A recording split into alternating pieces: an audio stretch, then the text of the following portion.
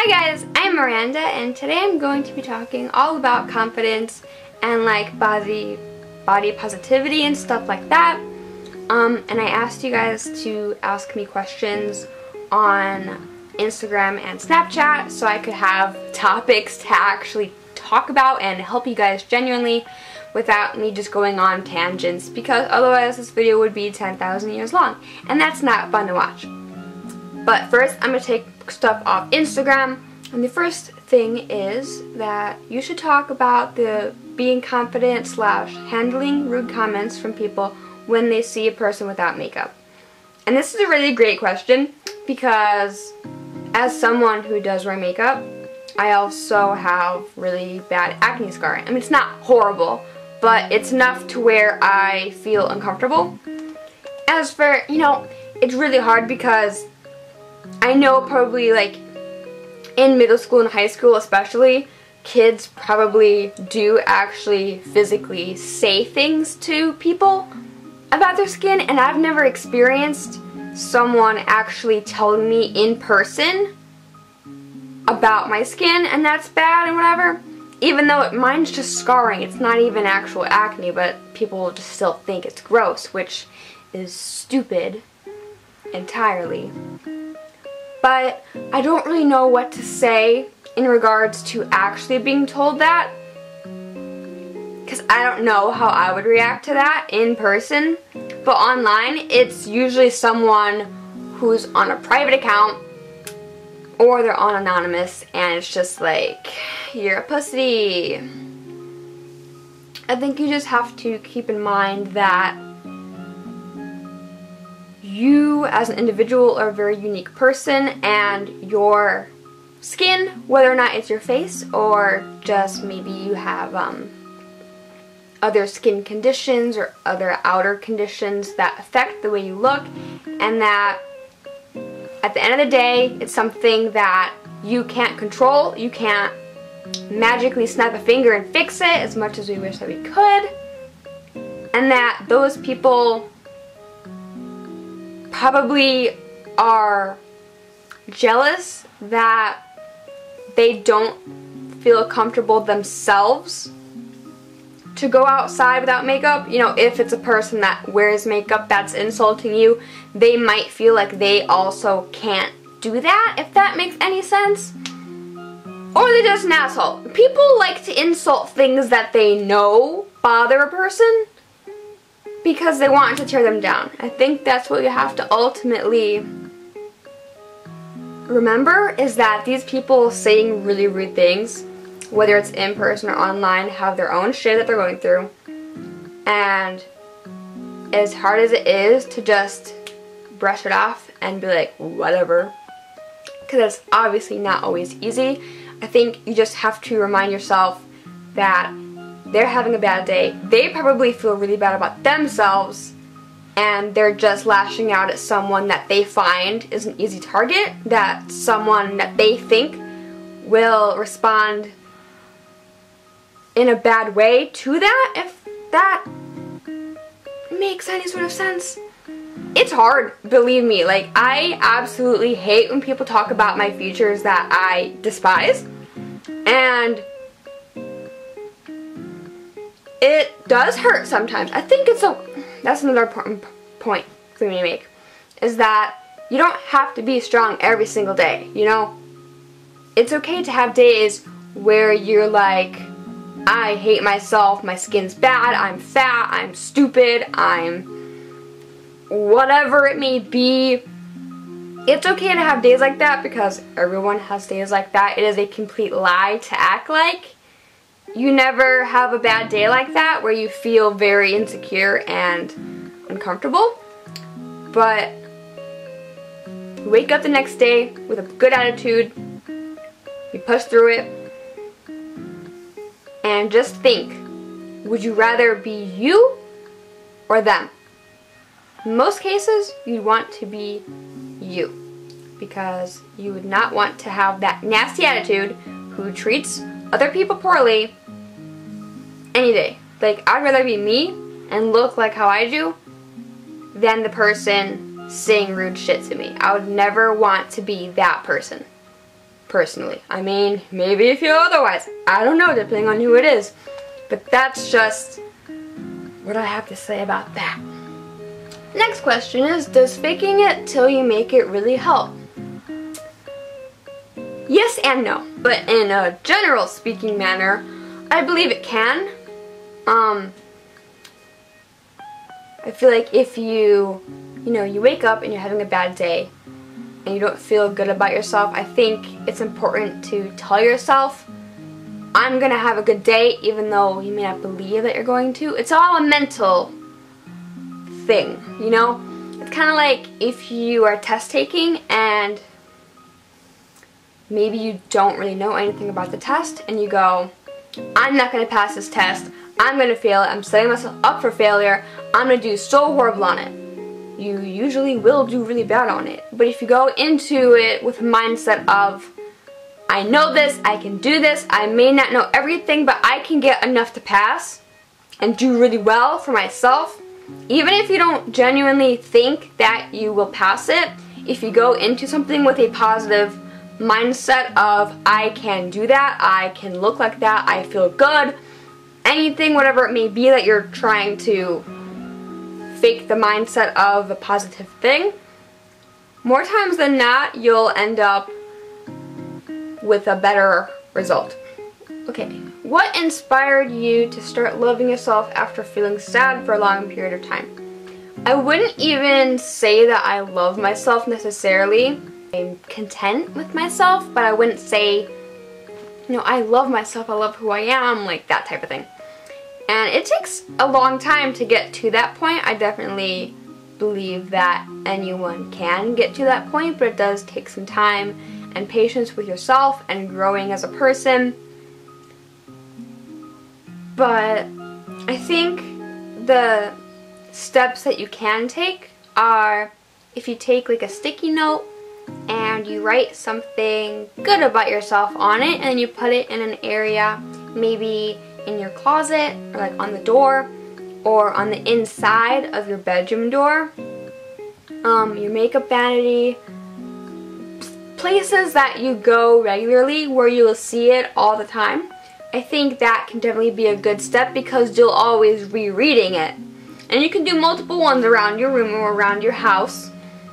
And I definitely think that reading those is kind of like a reassurance of I am pretty, I am thin, I am smart, I am beautiful, like if depending on what you write. Um or what you would like for the future, like I will be successful. I will be this, I will be that. I think when you read those things on an everyday basis, they definitely can be a good start and a good reminder to keep reaching for your goals. I mean, when you're in a very depressive state or a very sad place in place of mind, um, I think even if, since that's more like an internal feeling, I think if you start doing the things that make you happy, like if you like painting, maybe start painting again or drawing, maybe go for a walk and just doing things that you enjoy doing, that's sort of like a self-love tactic that you're treating yourself to the things that you genuinely love doing and enjoy doing that make you in a better state. I think that can also be a different approach to a self-love instead of like an outer boost you can go for like an inner boost like I'm treating myself because I'm allowing myself to sit down take the time out of my day from other things to do this thing that I really love. I don't know. I guess I hope that makes sense. Maybe this video is gonna suck. I don't know. When doing a photo shoot or having others take your picture in general, how do you get yourself in your most confident mindset? Um, usually when I'm doing photos, I'm not with a stranger. Um, well, I take I take most of my selfies myself with my phone, basically. But when I go out, usually I'm with my brother, and I'm obviously comfortable with him. And he knows my angles, so he's chill. And I think it's good to be with someone first um, that you're very comfortable with so you can get used to being in front of a camera because I think it's also good to have in your mind what you want your photos to look like so you can sort of get into those poses and just take a lot because then you'll have a lot to choose from and more times than not you'll find more than one that you will really like. But just being with someone that you're comfortable letting them take your picture.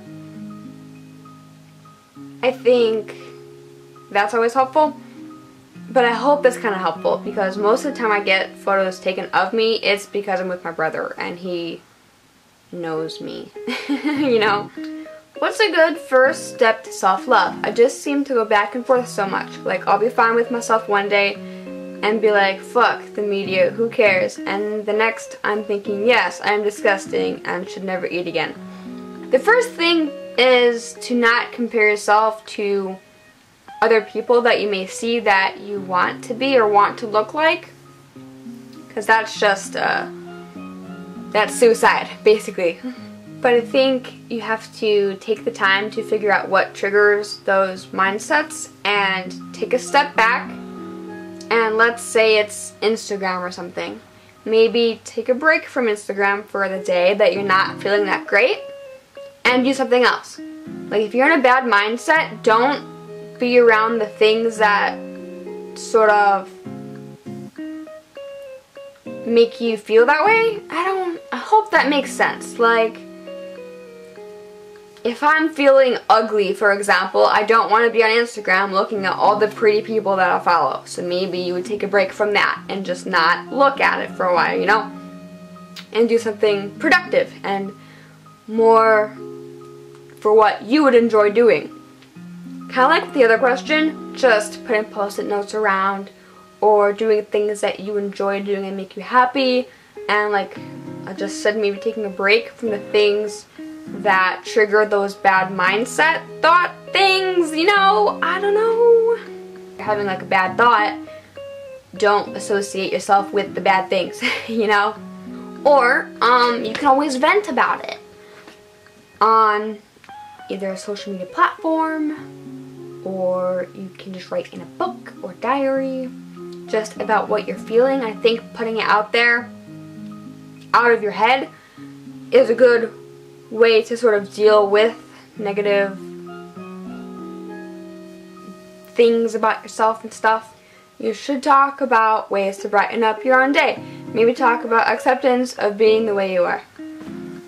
I think that, especially, you know, with the media and social media and stuff, I'll keep referencing that, is that people sort of expect a norm or an idea of how people should be and should act, and that's complete bullshit. you know, some people are weird. I think it's a great thing to be weird. I think it's fantastic to have different hobbies and not live a cookie cutout life. That's really great, I think. It's what makes people different and unique and it's what makes you your own individual person that no one else can be like and just especially online you kind of it opens up so many doors for creativity you know YouTube you can make videos about anything. You can make a video about paint drying and there would be people who would love that. And there would be people who will hate it. I think that's a big thing is that no matter who you are or how you act or what you do, there will be people that won't like you and what you're doing or what you're putting out there. Um, not everyone is going to like your makeup looks or your outfit choices. Not everyone is going to like that you like to do certain things or be a certain way. But there will be a lot of people who will love that about you and that's really great is that some people will love what you have to offer and put out there into the world and there are people who just simply won't and that's just how people are. That's just a normal, that's just life. There's no other real way to put it. That's just life. And that's really important to remember is that if someone doesn't like you or what you're doing, they probably don't know you personally. You know, usually if you're insulted for being you and being yourself, it's usually from someone who doesn't know you at all and from someone who has never talked to you ever, which makes it funny because it's like, how can you say you don't like me when you don't even know me, you know? And as long as you're being true to yourself, people notice that and people really enjoy someone who is purely genuine. People really, they pick up on that. They do pick up on that if you are being true to yourself and you're doing what makes you happy and not trying to please others. People recognize that. People notice that. And at the end of the day, if it makes you happy, that's what's really important. That if you like who you are and like what you're doing, then at the end of the day, that's what matters most not sort of what other people think. Most people don't like who they are because other people tell them that they shouldn't like who they are and that sort of gets in your head. Do what you have to do to make yourself feel good about what you're doing and who you are as a person. Can you talk about it being okay to wear makeup if you want? When I wear makeup, I constantly hear others at school whispering about me. So, I don't know how old you are, or I'm not to look. but I feel like this is kind of going back to what I was saying. If you're doing what makes you happy, that is the ultimate thing at the end of the day. Like, I like how I do my makeup. Some people don't. That doesn't mean I have to change what I'm doing just to make other people like me more, you know? Like, if you like the way that you're doing it and like the way you look and it makes you feel great, that's great usually people that talk about you or start up stuff about you, they're usually jealous. Like, even if someone who's being rude says, I'm not jealous, like, you're jealous that they feel good about themselves to some extent to be looking like how they do. People, no person that is happy with themselves tries to bring someone else down. If you're truly happy with yourself and if you truly like yourself, you would never bring someone else down if you actually genuinely were a good person and like yourself. If you're confident and happy, you want to spread that, usually. Maybe they're just an asshole. I don't know. What I'm trying to say is that you're probably one step above them and they're mad about that. You know, like, it's just a weird thing. I don't like to always say people are jealous because obviously not everyone is. That's just kind of a, it's not accurate in my opinion. But to some extent, I do truly believe that the people that are rude are very unhappy and are very angry or very envious of something that you have, whether whether or not it's an appearance thing or a personality thing or just the way that you present yourself, people don't like to see other people be happy when they're sad. I don't know why. It's just how some people choose to respond to that and they want to bring other people down and I think that's sort of what's happening in your case, especially because since you're in school, I'm assuming it's either middle school or high school, and people are petty as fuck in middle school and high school. People are really mean because they can be. Um, it's crazy to me that people can act like that to another another human being. But as long as what you're doing makes you feel good and happy, who the fuck cares? If they're talking about you, you're doing something right. If people are mad at you because you're doing good things and making yourself happy, you're doing something right when your name ends up in someone else's mouth, obviously if you haven't done anything bad, and that that's a whole different thing. You know, obviously you did something bad, yeah, people are going to talk about you. But if you haven't done anything and your name is ending up in other people's mouths, you're doing something right. You're doing something right.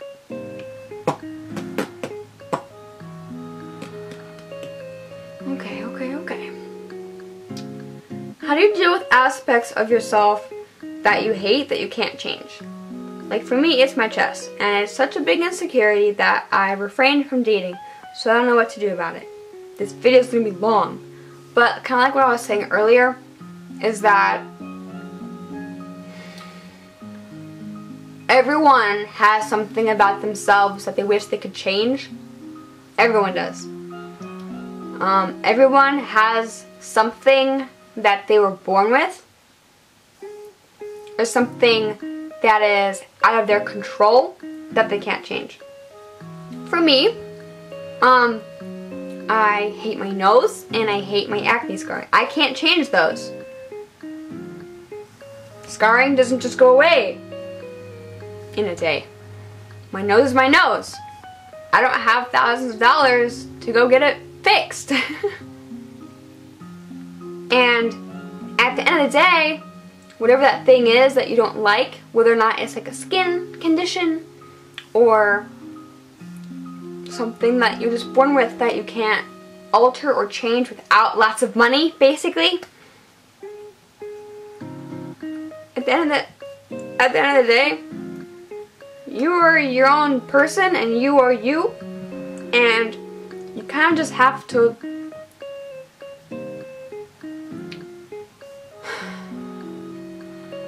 say deal with it because that's harsh.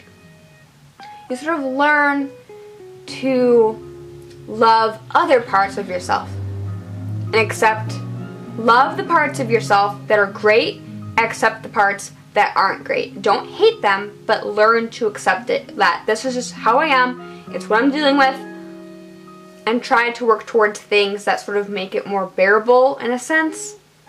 Like for my nose, I just contour it. Acne scarring, foundation.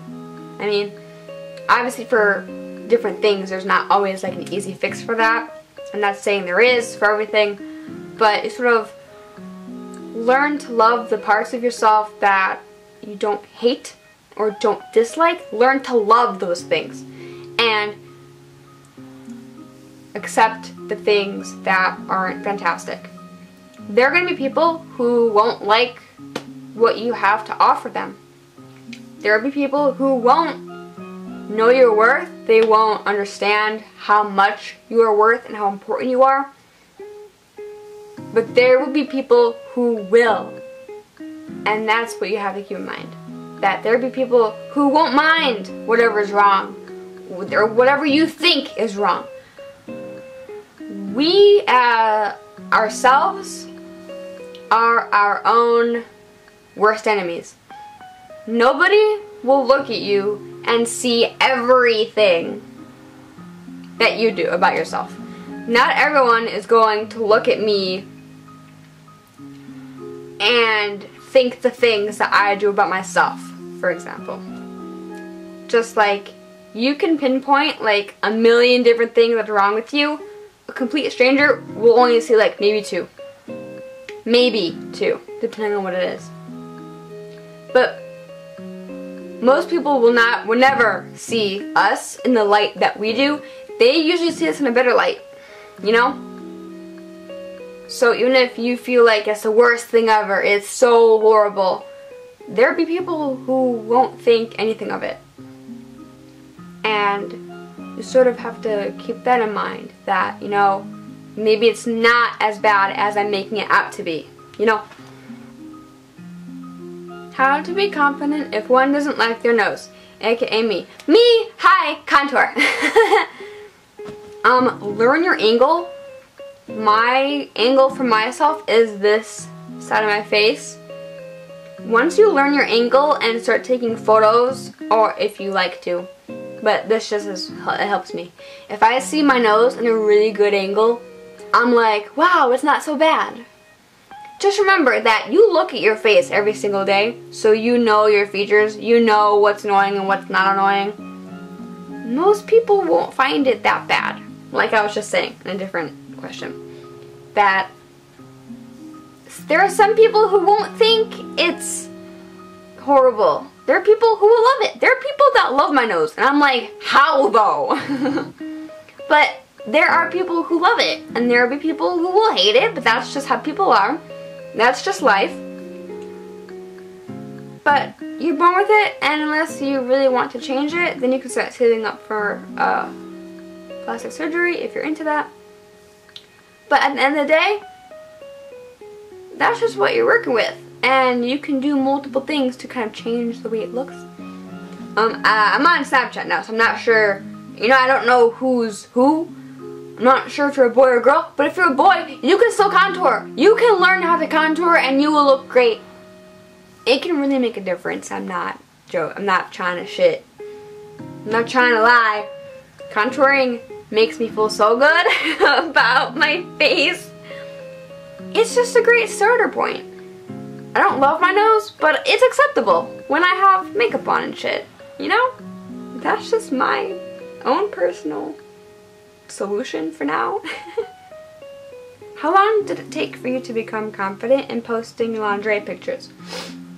So, I don't know how many of you guys know this, but on Tumblr I do like the aesthetic of girls in lingerie. It is beautiful. I think it's art.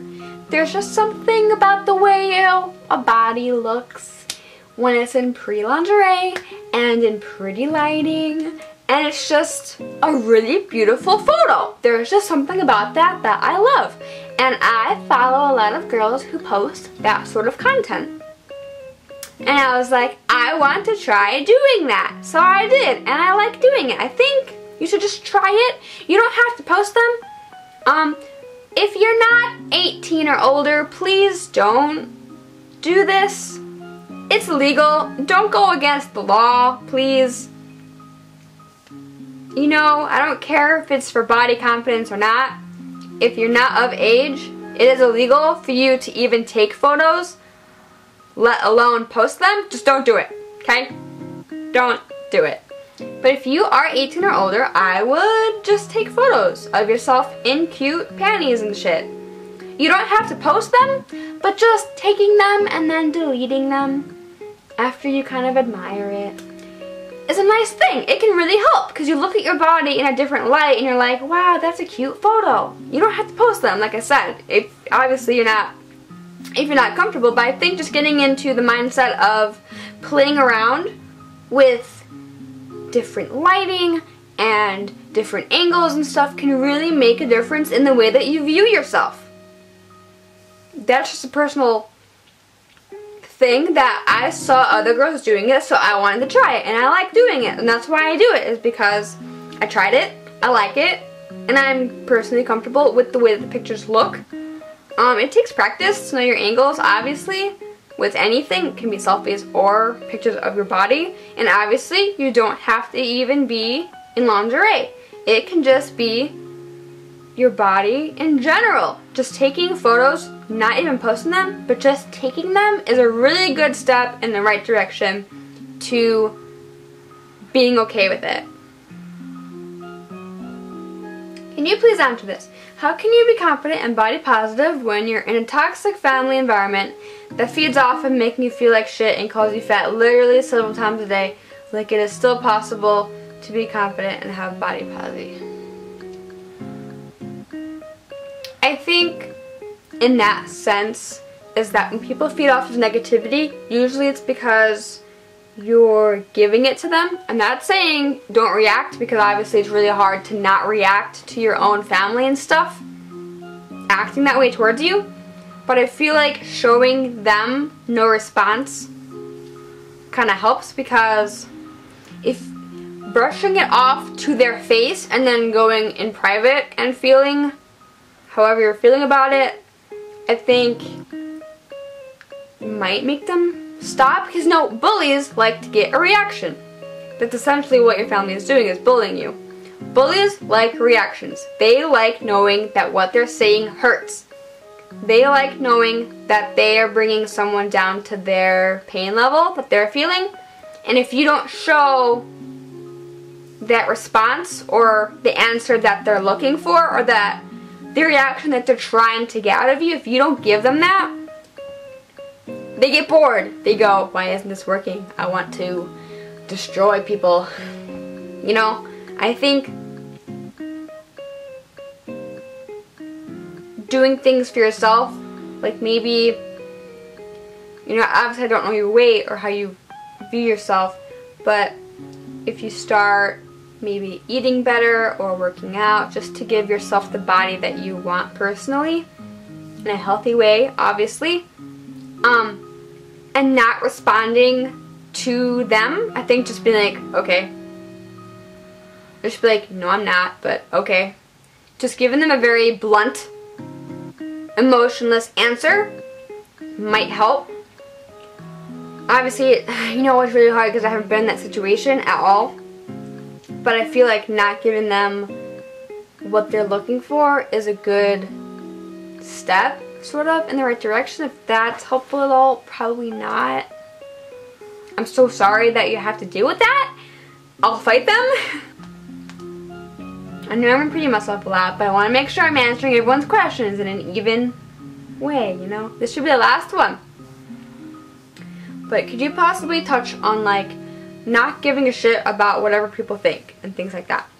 Great way to end this video. I don't remember if I've already talked about this in depth or not. I'll find out in the editing. But not caring about what other people think. As someone who is online, you know I have 4,500 of you guys, which is insane. On Instagram I have 43,000. Insane. It is mind-blowing to me, honestly. And then on Tumblr, 24,000. Um, you know, in person, I honestly don't look at people. um, but I can kind of feel when people are staring at me. But when I'm, you know, in public, I have a strong, tall walk. I have a bitch face, honestly. My resting face is bitchy, like elk cunt most times that you see me, probably always. And I don't look at people. When I'm walking past someone, I don't look at them. They can look at me all they want. I won't notice. Because if I feel good about myself and if my outfit's cute and I'm like, yes, this is a great day, I don't give a shit. You have to have the mindset of, I'm great and no one can tell me otherwise. This goes for online too. Because more people are really shit online than they are actually in person because in person they're a fucking pussy and won't say shit because they're scared as fuck. More, time, more times than not. Online, people, honestly, if people are talking about you online, go to their profile first of all. And if they're in private, they don't mean shit. They're a pussy. If you're in private, commenting hate shit, you're a pussy. Bye. That's my number one mindset is if they're on anonymous or on an account that is private or not their um, personal account, they're a pussy. They don't mean shit. Because if you're putting yourself out there, like me, like obviously I have a public account with 43,000 followers on Instagram. If someone who has like no followers, and is on private, they're a pussy. Like, I'm, I'm out here putting my face all over the place, posting what I love, and you're on and on telling me shit. You're a pussy. You don't mean shit to me. A lot of times, remember that they're strangers. You know, at the end of the day, they don't mean anything to you or if they are someone that does mean something to you. Like if your friend is making you feel like shit, they're not a friend. Fuck them. To be like, see ya, you're a piece of shit. But most of the time, they're strangers. You know, like on Tumblr and stuff, there are people who literally, I will block their IP address and they'll change it just so they can bother me more. And that says a lot more about them than it does me. And that's another point when people treat you like shit for doing nothing, mo most likely, that says a lot about who they are as a person than you.